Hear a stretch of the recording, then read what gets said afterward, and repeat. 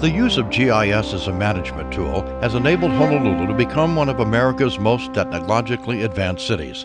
Smart maps allow city leaders to geographically visualize a wealth of data, improve operating efficiencies, and greatly enhance the delivery of public services.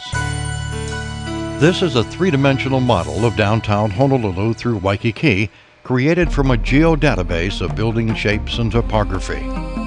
GIS features are draped with high resolution satellite and aerial imagery to create a virtual impression of the city's most vibrant area.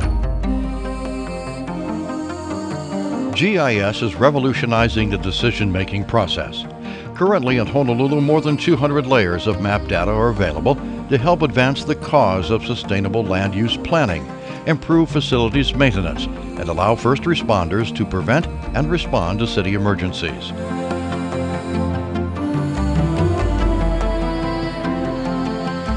For more than 15 years, the city has sought to expand the boundaries of GIS as an urban management tool.